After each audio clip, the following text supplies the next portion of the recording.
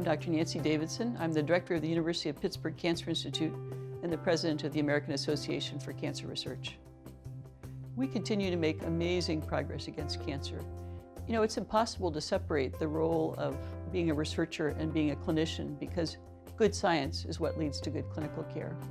Over the course of my career, we've seen cancer mortality drop about 1% per year, each year, each and every year in the United States. And that's because of the advances that we're making from great science, which leads to great care. There is no question that we are extremely excited about how our understanding of targeted therapies is going to contribute. In the last several years, we've seen major progress with regard to the use of immunotherapy.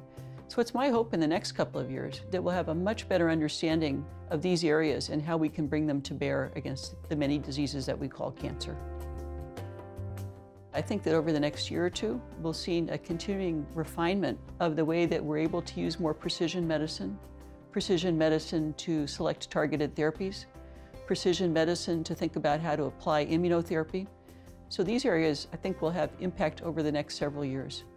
Over the long term, I really hope that we're going to see increasing impact of early detection, of prevention strategies, and that we'll be able to come to the point where we can think about the concept of personalized screening personalized prevention.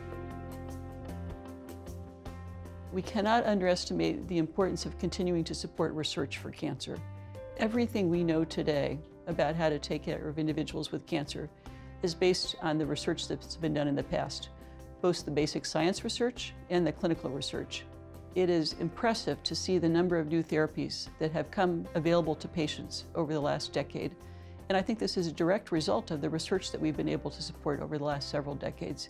New systemic therapies, new targeted therapies, new immunotherapies, new ways of doing surgery, new ways of delivering radiotherapy. All of these are vital in our ability to try to decrease the burden of cancer.